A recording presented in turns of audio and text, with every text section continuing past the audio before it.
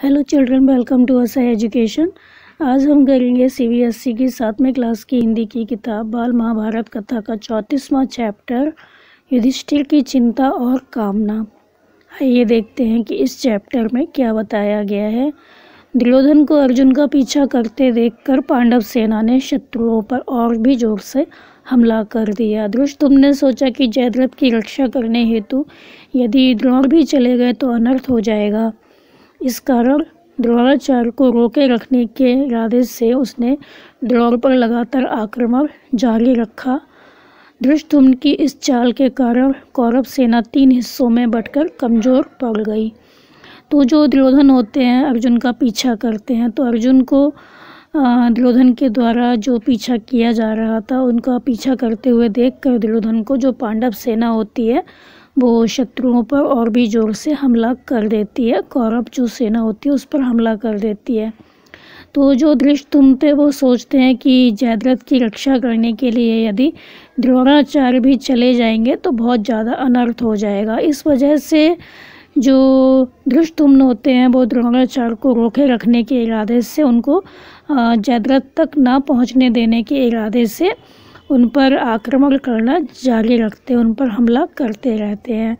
तो धृष्टुम्न की इस चाल के कारण जो कौरव सेना होती है, वो तीन हिस्सों में बढ़ जाती है और काफ़ी कमज़ोर पड़ जाती है।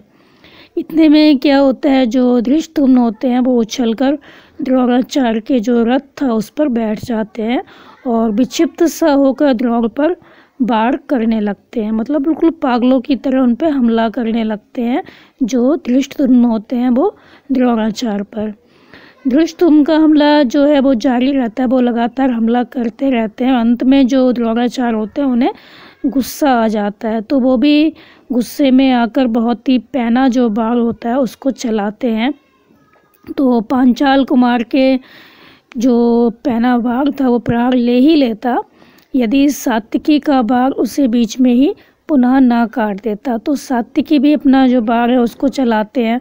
तो जो द्रोणाचार्य का बाघ होता है, वो सात्विकी के बाघ से कट जाता है। अगर वो नहीं कटता तो दृष्ट तुम की मौत हो जाती है। अचानक सात्विकी के बाघ रोक लेने पर द्रोणाचार्य का जो ध्यान था, वो सात्विकी की ओर चला जाता है। वो देखते हैं, किसने मेरे बाघ को काट दिया?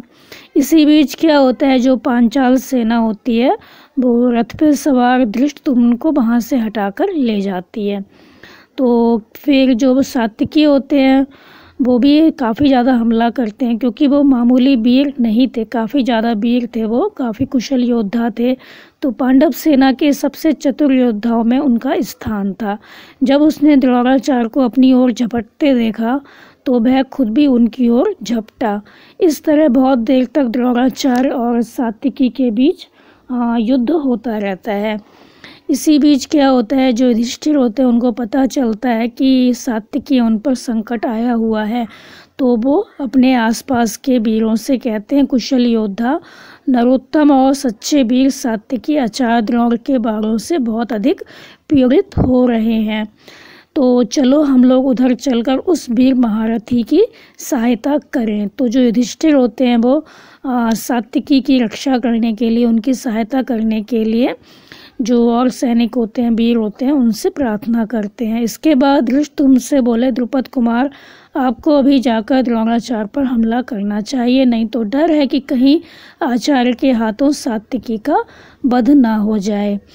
तो वो दृश्य तुमसे भी कहते हैं कि द्रुपद कुमार, तुम्हें अभी जाकर क्या करना चाहिए? द्रोणाचार्य पर आक्रमण करना चाहिए। नहीं तो हो सकता है द्रोणाचार्य जो है, वो उसको मार डालें, उनके हाथों सात्विकी का वध हो जाए। तो युधिष्ठिर को इसी बात का डर था कि कहीं द्रोणाचार्य के हाथों सात्विकी का वध ना हो जाए। तो युधिष्ठिर ने द्रोण पर हमला करने के लिए जो दृष्ट तुम होते हैं, उनके साथ एक बड़ी सेना भेज दी। तो समय पर कुमुख के पहुँच जाने पर भी क्या हुआ? बहुत परिश्रम के बाद ही सात्विकी को द्रोण के फंदे से छुड़ाया जा सका। तो समय पर जो सहायता पहुँची, उसके पहुँच जाने के बाद भी काफ़ी परिश्रम के बाद जो सात्विकी होते हैं, वो द्रोण के चंगुल से छूट पाते हैं। इसी समय क्या होता है? श्री कृष्ण के पाँच जन्य की ध्वनि सुनाई देती है। पाँच जन्य जो श्री कृष्ण थे, उनके पास जो शंख था, उसका नाम था पाँच जन्य। तो वो शंख बजाते हैं अपना। तो ये आवाज़ सुनकर जो युधिष्ठिर होते हैं काफ़ी चिंतित हो जाते हैं। तो इस घड़ी अर्जुन की सहायता को चले जाओ, इतना कहते कहते जो युधिष्ठिर होते हैं बहुत ज़्यादा अधीर हो जाते हैं। तो जो अर्जुन होते हैं, उनकी सहायता के लिए जो युधिष्ठिर होते हैं, वो कहते हैं। युधिष्ठिर जो होते हैं, वो अर्जुन की सहायता करने के लिए सात्विकी को कहते हैं। तो युधिष्ठिर के इस प्रकार आग्रह करने पर जो सात्विकी होते हैं, बहुत ही विनम्र भाव से कहते हैं युधिष्ठिर जो द्रोण की प्रतिज्ञा है, उसको तो आप जानते ही हैं। जो द्रोणाचार्य ने प्रतिज्ञा ली है, उसको तो आप बहुत अच्छे से जानते हैं। तो आपकी जो रक्षा का भार है, वो हमारे ऊपर है। तो आपकी जो रक्षा करनी है, वो हमको करनी है। तो महाराज वासुदेव और अर्जुन मुझे ये आदेश देकर गए हैं कि मैं आपकी रक्षा करूँ, मैं उनकी जो बात है, उसको कैसे डाल टाल सकता हूँ। तो मुझ पर उन्होंने भरोसा किया है कि मैं आपकी रक्षा करूँगा तो मैं उनकी बात को नहीं टाल सकता तो मैं नहीं जाऊँगा। तो आप अर्जुन की चिंता ना करें, क्योंकि अर्जुन को तो कोई जीत ही नहीं सकता। उधर जैसे ही सात्यकी युधिष्ठिर को छोड़कर अर्जुन की ओर जाते हैं, वैसे ही द्रोणाचार्य ने पांडव सेना पर हमले करने शुरू कर दिए उधर क्या होता है, जैसे ही सात्यकी जो होते हैं युधिष्ठिर को छोड़ के अर्जुन की तरफ़ जाते हैं वैसे ही जो द्रोणाचार्य होते हैं, वो पांडव सेना पर हमला करना शुरू कर देते हैं। तो युधिष्ठिर कहते हैं सात्विकी को जाने के लिए। तो जो सात्विकी होते हैं, वो अर्जुन की तरफ़ जाते हैं उनको बचाने के लिए, उनकी रक्षा करने के लिए। लेकिन जैसे ही वो अर्जुन की तरफ़ जाते हैं, वैसे ही द्रोणाचार्य पांडव सेना पर हमला करना शुरू कर देते हैं। पांडव सेना की पंक्तियाँ कई जगह से टूट जाती हैं और उन्हें पीछे हटना पड़ता है। यह देखकर जो युधिष्ठिर होते हैं काफ़ी चिंतित हो जाते हैं और कहते हैं, भीम, मेरा कहा मानो तो तुम भी अर्जुन के पास चले जाओ। तो वो भीम को भी कहते हैं कि, तुम भी अर्जुन के पास जाओ और सात्विकी तथा अर्जुन का हालचाल मालूम करो, वो किस हाल में है। इसके लिए जो कुछ करना ज़रूरी हो, वह करके वापस आकर मुझे सूचना दो। फिर आना वापस और बताना कि वहाँ पर क्या हाल चाल है। तो आकर मुझे इस बात की सूचना देना। मेरा कहना मानकर ही सात्विकी अर्जुन की सहायता को कौरव सेना से युद्ध करता हुआ गया है। तो मेरा कहना मानकर जो युधिष्ठिर होते हैं, वो कहते हैं कि मेरा कहना मानकर मैंने ही उससे कहा था सात्विकी से कि अर्जुन की सहायता करो। तो मेरा कहना मानकर ही जो सात्विकी है, अर्जुन की सहायता को कौरव सेना से युद्ध करता हुआ गया है, कौरव सेना से युद्ध करने के लिए गया है। यदि तुम उनको कुशल पूर्वक पाओ तो सिंह नाद करना, मैं समझ लूँगा कि सब कुशल है। तो वो कहते हैं, अगर तुम वहाँ जाते हो, देखते हो कि हाँ सब कुछ सही है तो तुम सही नाद करना, काफ़ी तेज़ आवाज़ करना, जिससे मैं समझ जाऊँगा कि सब कुछ ठीक प्रकार से है, सब कुछ कुशल है।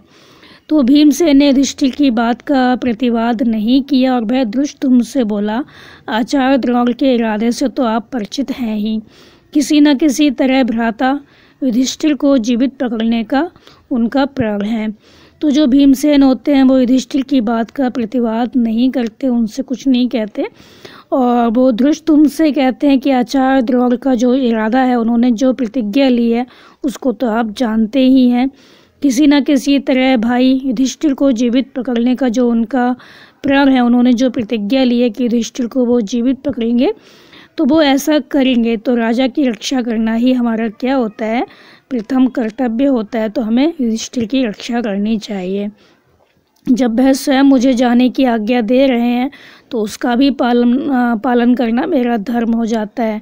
तो जो भीम है वो कहते हैं कि अगर राजा कोई आज्ञा देता है तो उसका पालन करना भी सबका धर्म होता है तो हमें उसका पालन करना चाहिए। तो इस कारण भ्राता युधिष्ठिर को आपके ही भरोसे पर छोड़कर जा रहा हूँ। तो जो भीम है वो कहते हैं कि मैं इस वजह से, क्योंकि युधिष्ठिर ने मुझसे कहा है जाने के लिए तो मैं उनकी आज्ञा कैसे टाल सकता हूँ? इस वजह से मैं भाई युधिष्ठिर को आपके ही भरोसे पर छोड़ के जा रहा हूँ। ऐसा वो दृष्ट तुमसे कहते हैं। तो वो कहते हैं कि आप उनकी भली प्रकार से रक्षा कीजिए, क्योंकि द्रोणाचार्य ने भी ये प्रतिज्ञा ले रखी है कि वो युधिष्ठिर को जीवित पकड़ेंगे।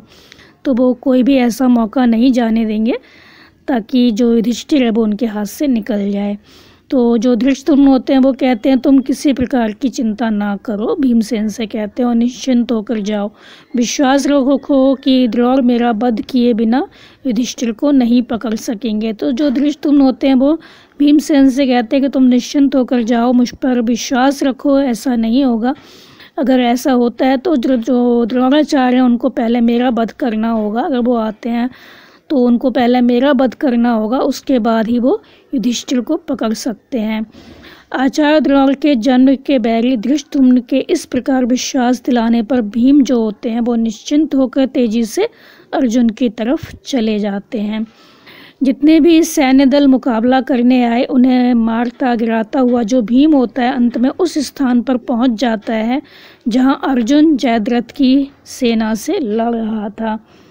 तो जितने भी सैन्य दल होते हैं, उन सब का मुकाबला करते हुए मारता, गिराता हुआ जो भीम होता है, अंत में उस स्थान पर पहुँच जाता है जहाँ अर्जुन जयद्रथ की सेना के साथ लड़ रहे थे, उनका मुकाबला कर रहे थे।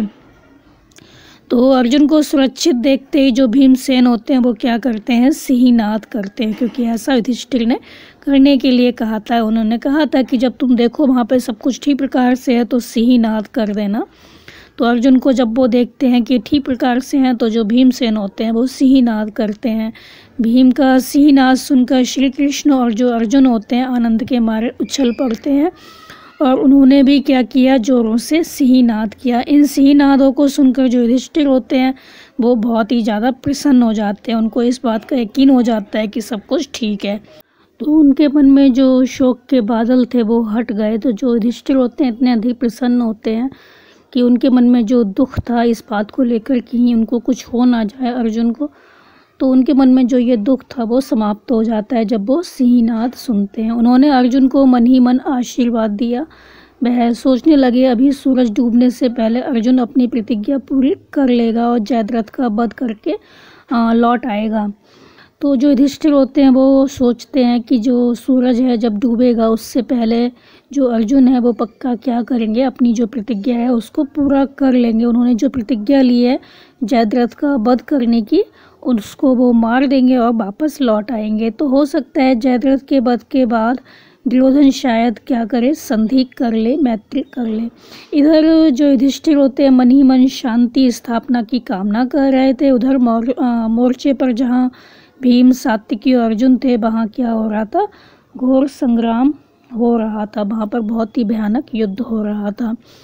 थोड़ी ही समय में जिस स्थान पर अर्जुन और जयद्रथ का युद्ध हो रहा था दुर्योधन भी वहाँ पर आ पहुँचता है। मगर थोड़ी ही देर में बुरी तरह हार कर मैदान छोड़कर वो भाग जाता है। फिर जहाँ पर अर्जुन और जयद्रथ का जो युद्ध हो रहा था, वहाँ पर दुर्योधन भी आ जाता है, लेकिन कुछ ही देर में वो बुरी तरह हार जाता है मैदान छोड़कर भाग जाता है। इस भांति उस रोज़ कई मोर्चों पर जोरों से युद्ध हो रहा था। तो इस तरह जो युद्ध था, वो कई मोर्चों पर हो रहा था। तो द्रोण ने कहा, बेटा, दुर्योधन, तुम्हें हिम्मत नहीं हारनी चाहिए। तो जो द्रोणाचार्य होते हैं वो दुर्योधन को हिम्मत बंधाते हैं, वो उससे कहते हैं कि तुम्हें हिम्मत नहीं हारनी चाहिए, तुम्हें इस तरह नहीं भागना चाहिए, तुम जयद्रथ की सहायता के लिए जाओ, वहाँ जो कुछ करना आवश्यक हो, वह करो। तो तुम जाओ युद्ध के मैदान में और जयद्रथ की सहायता करो, वहाँ जो कुछ तुम्हें करना आवश्यक हो तो वो तुम्हें करना चाहिए। तो आचार्य के कहने सुनने पर जो दुर्योधन होते हैं, कुछ सेना लेकर फिर से युद्ध के मैदान पर चले जाते हैं, युद्ध करने के लिए, जहाँ अर्जुन और जयद्रथ में जोरों से युद्ध हो रहा था, उनकी आपस में लड़ाई हो रही थी। उस दिन भीम और जो में जो युद्ध हुआ, वह एक रोमांचकारी घटना के रूप में वर्णित है भीमसेन उत्तेजना और उग्रता की प्रतिमूर्ति सा दिखाई दे रहा था। तो जो भीमसेन थे, वो काफ़ी उत्तेजित थे, काफ़ी उग्र हो रहे थे। तो जो कर थे, वो जो कुछ कर रहे थे, बहुत ही धैर्य के साथ और शांत स्वभाव से कर रहे थे। लेकिन जो भीम थे उनको अपना जो अपमान हुआ था, वो सहन नहीं हो रहा था, वो काफ़ी उग्र हो जाते थे। दोनों ही बहुत बड़े वीर थे और वो एक दूसरे पर हमला कर रहे थे। तो जो भीमसेन होते, उनको पिछली सारी बातें याद आती हैं कि उनका कितना अधिक अपमान हुआ, उन्होंने कितने अधिक कष्ट, सहे, मुसीबतें सही, ये सारी चीज़ें उनको याद आती हैं, जो उसे, उसके भाइयों और द्रौपदी को पहुंचाई गई थी। तो जो अपमान उसने सहा। जो यातनाएँ सही, जो उनके भाइयों को पहुंचाई गई यातनाएँ, द्रौपदी को जो कष्ट सहने पड़े, वो सब कुछ उसको याद आता है। तो प्राणों का मोह छोड़कर वो क्या करता है? लड़ने लगता है। उस समय भीमसेन का घावों से भरा हुआ शरीर धधकती हुई आग सा प्रतीत हो रहा था। तो जो भीमसेन थे, कई जगह से उनके शरीर पर जो घाव लगे हुए थे तो जो भीमसेन थे काफ़ी घायल हो गए थे तो उनके शरीर पर जो घाव थे, वहाँ से खून रिस रहा था तो उनके घावों से जो खून रिस रहा था, जो शरीर था, उनका ऐसा प्रतीत हो रहा था जैसे कि धधकती हुई आग हो।